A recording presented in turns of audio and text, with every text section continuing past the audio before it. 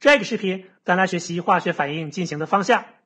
之前你学了描述反应进行的快慢用化学反应速率，描述反应进行的限度用化学平衡，这些都是针对能够发生的反应而言的。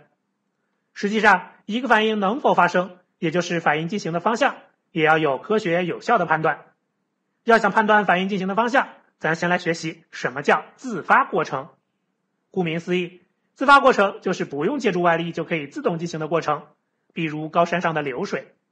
类似的，自发反应就是在一定条件下无需外界帮助就能自发进行的反应。自发过程或者自发反应都有两个特点：第一，体系趋向于从高能状态转变为低能状态，转变时体系会对外部做功或释放热量；第二，在密闭条件下，体系有从有序转变为无序的倾向性。也就是无序体系更加稳定。知道了自发反应及其特点，接下来咱分析一下如何判断反应进行的方向。刚才咱了解到，自发反应中体系趋向于从高能状态转变为低能状态，一般就是放热反应。实际上，绝大多数放热反应都能自发进行，比如这俩反应。那是不是说只要含变小于零就是自发反应呢？并不是，因为有少数吸热反应也能自发进行。比如这俩反应，看来只根据含变来判断反应进行的方向是不全面的，它只是判断的因素之一。除了含变，还有什么是判断反应进行方向的因素呢？刚才咱还说了，自发反应有个特点，在密闭条件下，体系有从有序转变为无序的倾向性。告诉你，描述一个体系有序无序，也就是混乱度的物理量叫做熵，越混乱无序，熵值越大。同一条件下，不同物质有不同的熵值；同一物质在不同状态下，熵值也不同。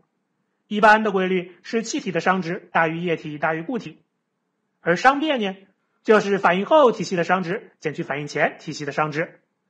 由自发反应的特点可知，化学反应的熵变越大，越有利于反应自发进行。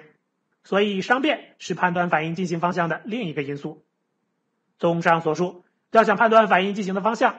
必须综合考虑体系的含变和熵变，吉布斯自由能就是这样一个综合考虑了体系含变和熵变的物理量。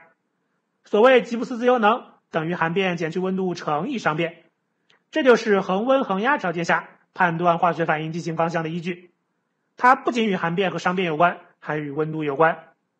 当吉布斯自由能小于零时，反应就能自发进行；等于零时，反应达到平衡状态；而大于零时，反应不能自发进行。